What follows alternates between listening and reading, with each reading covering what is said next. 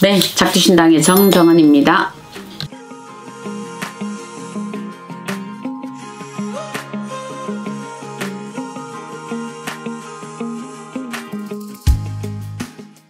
우리가 귀가 두 개죠. 귀가 두 개라는 거는 어찌됐든 전후좌우 좌측 우측 남의 말을 잘 들어서 내가 그걸 씹어 먹으면 되거든. 근데 이 절망을 느끼는 사람들은 뭐냐면 본인이 내뱉는 말이 정말 바빠. 자고로 성격이 급한 사람 치고 출세하는 사람이었고 성격이 급한 사람 치고 제자 치고 득도하는 사람이었다 그랬거든. 조금은 본인들이 우리가 하고 싶은 말 이런 거를 전부 다 내뱉고 살 수는 없는데 지나치게 이 사람들 같은 경우에는 남의 말이나 어떤 거를 듣는 것보다는 자기 주장이 너무 많아. 그러다 보니까 이 사람들이 이 주장들이 너무 많으니까 어떻게 돼? 시내에서는 그래 네가 이 얘기 다 해라 이래야 되는 거거든.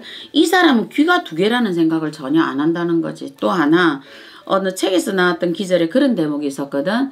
피가 흐르듯이 생각이 흐르게 하라. 그 말을 했는데 이 사람들은 또 뭐냐면 자기가 어떤 부분에 생각하는 걸 굉장히 싫어하시더라고.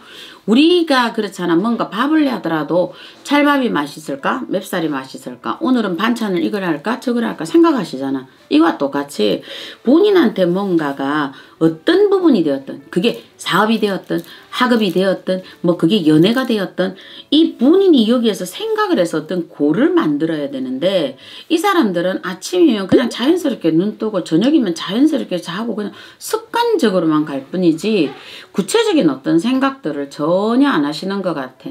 우리가 뭐 소크라테스가 했던 것처럼 너 자신을 알라 이렇게 표현을 하셨는데 그 안에 있는 본질적인 힘은 정말 너 자신이 누군지, 너 자신이 어디 왔는지, 너 자신이 뭐하러 왔는지, 너 자신에 대한 생각을 하라는 부분이 아닐까라고 생각을 하거든. 그래서 생각이 없는 사람, 이런 사람을 볼 때는 그냥 이거는 절망이 아니라 패망이야. 그냥 패망. 그냥 이 사람들은 신에서는 그냥 그래.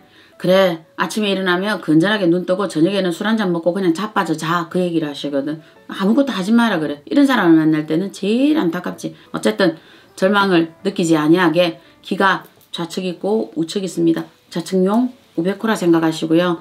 남의 말을 들어서 내 것으로 반드시 씹어 드세요. 그리고 뱉으려고 하는 말은요. 한 번쯤은 급한 성격이라고 자랑하지 말으시고 내가 뱉는 말을 한 번쯤 꿀떡 넘어가 보고 성격을 조금은 깔아앉혀 보시면 본인들에게 그래도 오늘보다 내일이 분명히 나아진다라는 것을 알고 갔으면 좋겠다.